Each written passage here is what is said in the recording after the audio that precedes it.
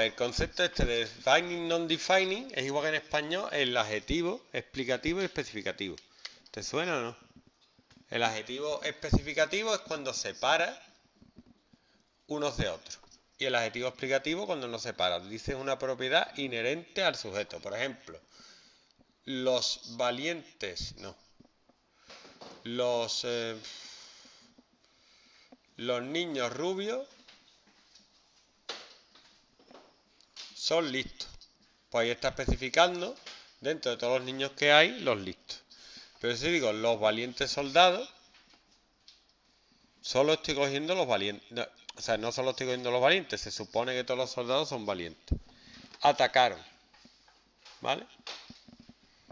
Que no sería lo mismo que decir los soldados valientes atacaron. Aquí solo atacarían los que son valientes. Pero como la valentía es una propiedad que se asigna a todos los soldados, pues esto sería más propio. ¿Vale? Aquí solo atacarían los que son valientes y los otros se volverían para atrás.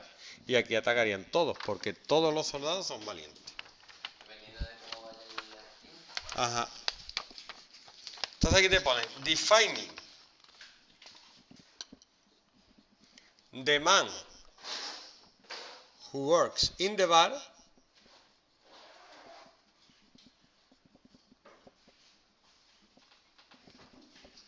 is my friend. Mañana. Entonces, ahí está especificando qué hombre es el que trabaja en el bar. No es el que está ni en la puerta ni en la, sino el que trabaja en el bar. Ese es mi amigo. Diferencia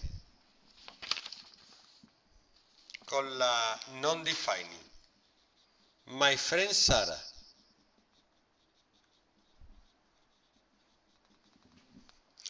coma, who lives in Germany.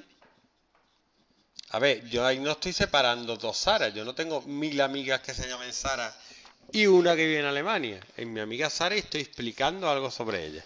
¿Vale?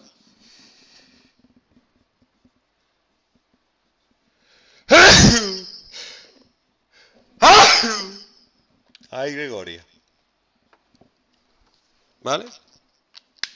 Entonces, sería lo mismo que decir, el hombre que trabaja en el bar es mi amigo. Mi amiga Sara, que, vive en Alemania, también iría separado por coma. En español es lo mismo, ¿vale?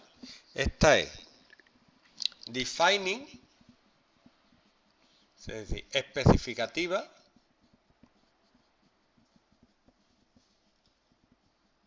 Y esta es non-defining, explicativa. Te están diciendo algo, pero no la está tú, no estás separando de nadie. Diciendo una propiedad del sujeto que vive en Alemania. Pero aquí sí, aquí lo separa de todos los demás, de todos los hombres que conoce.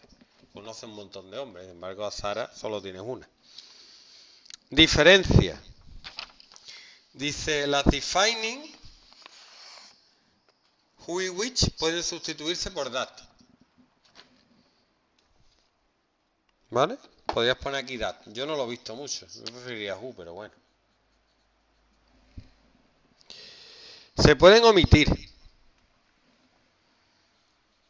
Omitir cuando es objeto, pero no cuando es sujeto.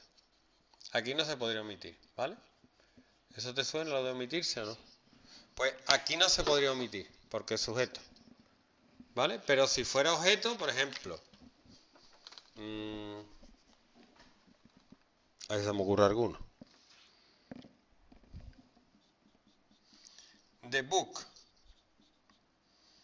that you bought for me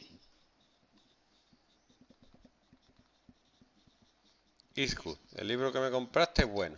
Aquí sí, porque aquí el that se refiere al complemento directo. Tú me compraste un libro. Esto es el complemento directo de la subordinada. ¿Has dado la adjetiva ya o no? En lengua. Pues es lo mismo. Esto es una adjetiva. El libro que me compraste, pues el que aquí se puede quitar. The book. You bought me. Y esto se refiere.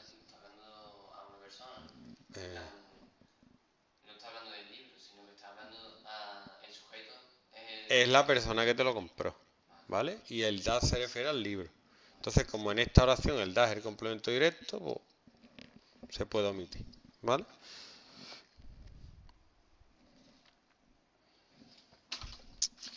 Y las non-defining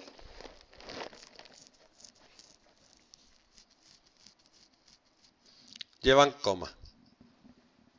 ¿Vale? Llevan coma y además no se puede omitir nunca el, el relativo. ¿Te ha ayudado o no? ¿Qué?